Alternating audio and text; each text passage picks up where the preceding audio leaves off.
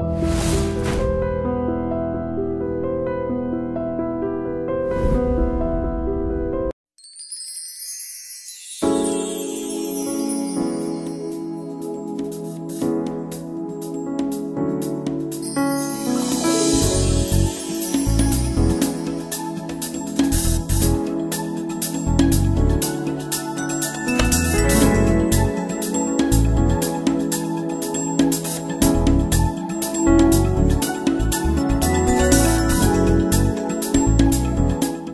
After Airlift and in Housefull 3, one of the most celebrated actors in Bollywood, Akshay Kumar, is going to work for Robo 2, starring none other than superstar Rajnikant.